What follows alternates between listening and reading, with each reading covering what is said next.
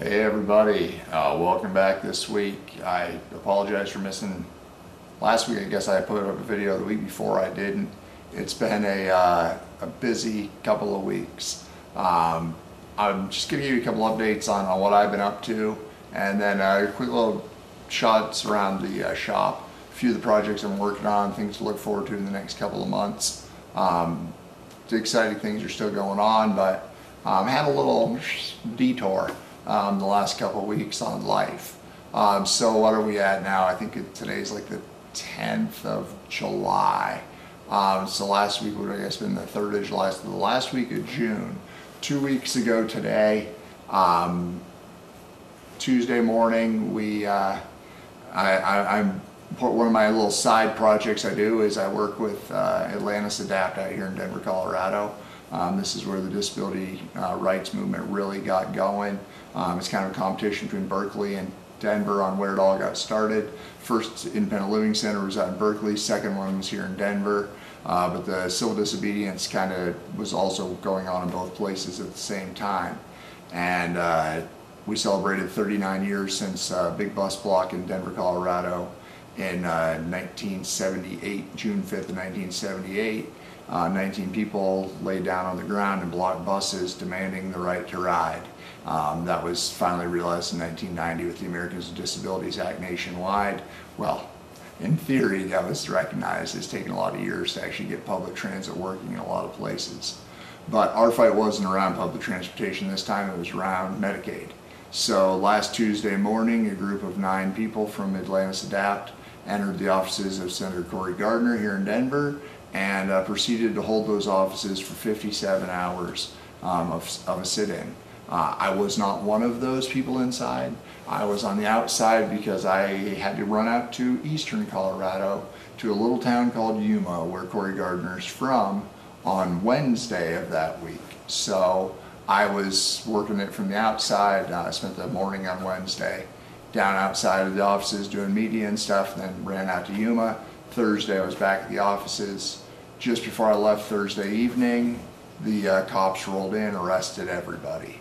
Um, luckily, a few people were able to sit down at the jail for the uh, 32 hours it took to get them out. I came home, got off my skin for a little bit, went back Friday morning. Long story short, it, it was ridiculous getting them out of jail. Mm -hmm. They should have been ticketed and released there at the, the scene of the crime.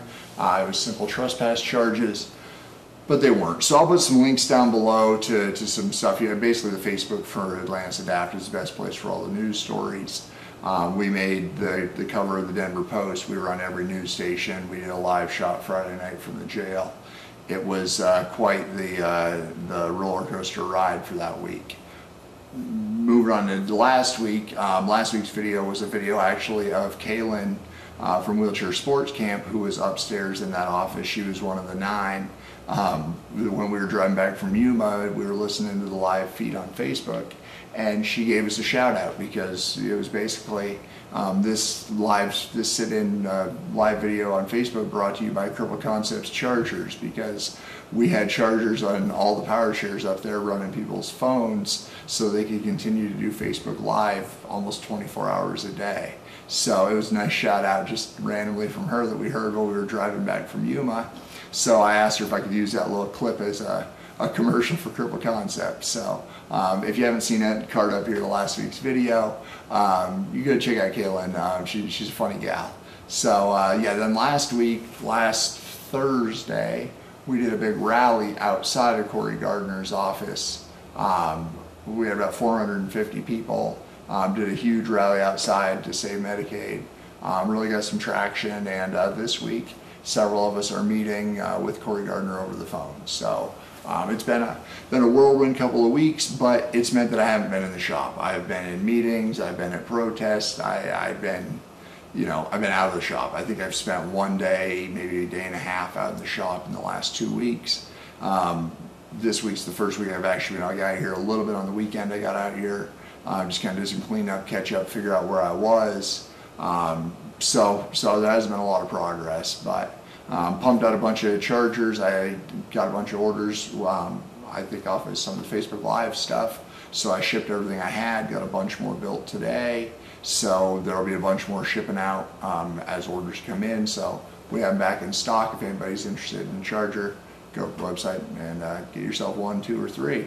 Uh, give them to friends. So uh, yeah, that, that's kind of taking me away from the shop. But um, if I don't have Medicaid, and I've said this before in videos, and I'll say it again, and, and it, it, know, this company doesn't exist without Medicaid. Without Medicaid, I don't get in and out of bed every day. I don't get showered. I don't go to the bathroom. I don't. I don't have a life. So um, I have to put everything on hold with this business to to go and fight for Medicaid when Medicaid's under threat. So um, yeah, it's it's. Uh, it's unfortunate that that's part of my life, but um, I'm glad that I can be a part of, of that and the fact that we have a senator in Colorado that could potentially be the deal breaker on it it means I have to do everything I can to, to keep it from getting ripped out from under us. Um, we live in a great state here in Colorado where I can buy into my Medicaid.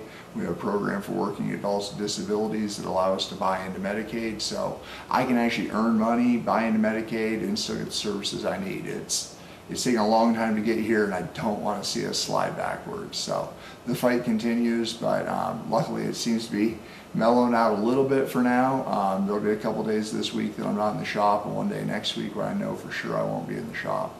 But um, getting caught back up, getting on some other projects that I've been wanting to do for a while.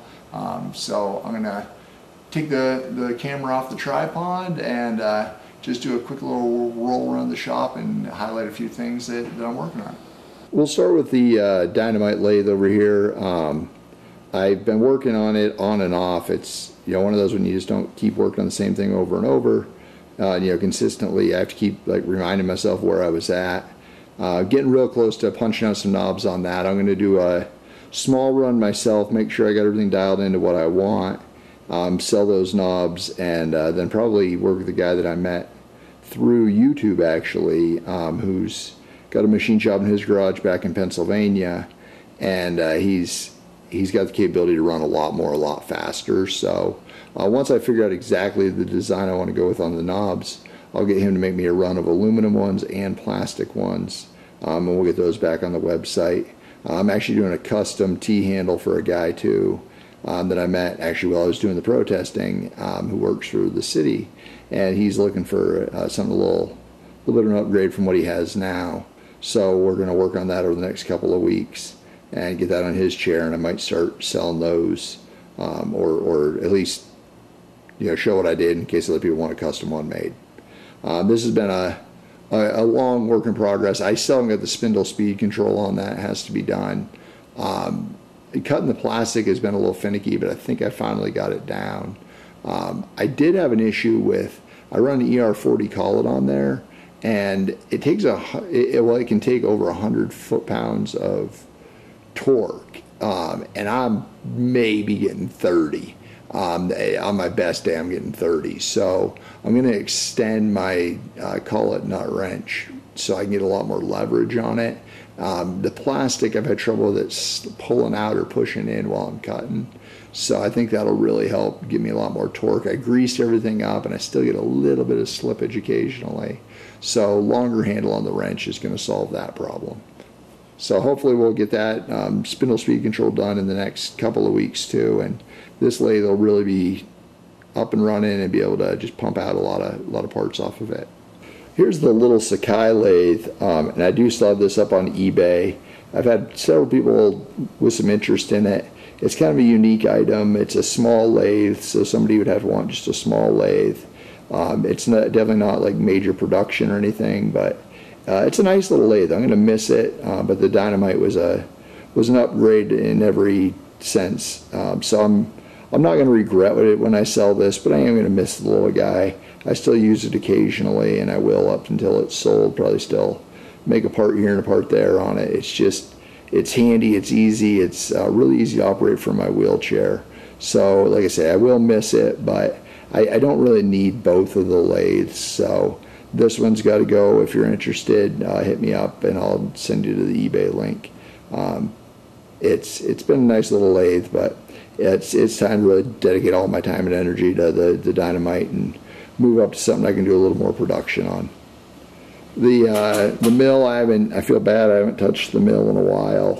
Um, I need to get cutting some parts on it. I that, that's the problem when I jump from machine to machine. I build a bunch of parts with one, then I build a bunch of parts with another, and then they sit for a while. But um, I've got a couple ideas some things that I'm going to need that for real soon. So um, I, I think you'll you'll be seeing some parts pumping out of the mill again in the next few weeks as well. It's been a long time since I brought it up, but the uh, wheelchair skid steer project it it continues. Uh, this is the motorcycle engine here. Um, got it into the shop in the air conditioning. I'm gonna rebuild all four of the carburetors and replace the boots between the carbs and the engine itself. Um, they're all dry rotted pretty bad, so um, it, that's kind of a side project that I just keep working on as I have time. But I do want to get it going. I've got pretty much everything I need to make the thing run, so it's just a matter of putting the time in to make it actually run. That hopefully by the middle of August will be mounted on the skid steer and maybe even have the hydraulics all plumbed by then. Uh, but that project's not over. It will continue, and you will see a wheelchair accessible skid steer at some point. Um, it's it's not something that turns me a profit, so it's it's the side project. I've been using the uh, router again. Um, I picked up some wood. Yeah, I didn't have enough tongue weight, if you notice in that picture. Um, it was actually hard to get the trailer disconnected from the minivan. Uh, but I've been making some signs.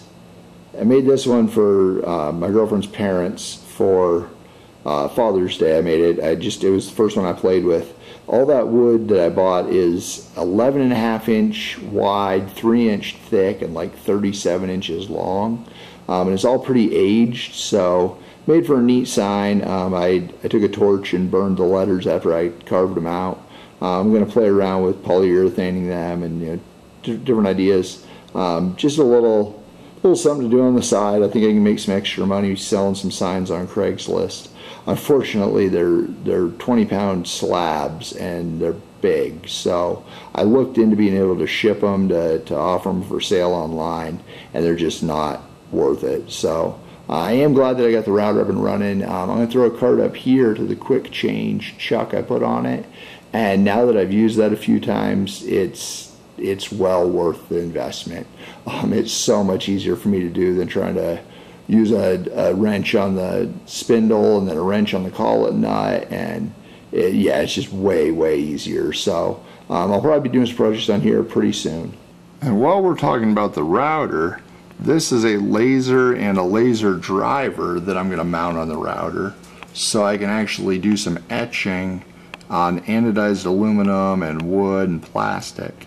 Um, again, it's, it's, kind of a side project. We'll keep working on it, but idea I've had for a while, and I'm to get that mounted up on the router so we can uh, actually try burning some wood and maybe some plastic, maybe some uh, um, anodized aluminum. We'll see if we can do anodized aluminum. It's only a 6 watt laser. It's a diode laser, not a uh, CO2 laser or anything. So it's uh, limited resolution, limited uh, power, but I still think we can do a lot of cool stuff with it on the router. The 3D printer continues to work excellent. Um, the about that is.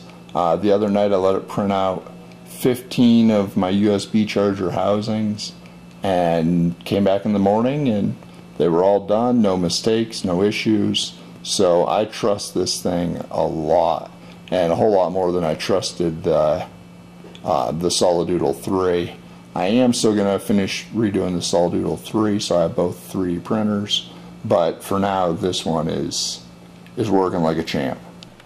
And finally, speaking of USB chargers, it, this is a good feeling to have 15 of them laying here on the bench, finished, ready to ship. So if you're interested in a USB charger, uh, head over to crippleconcepts.com and place your order.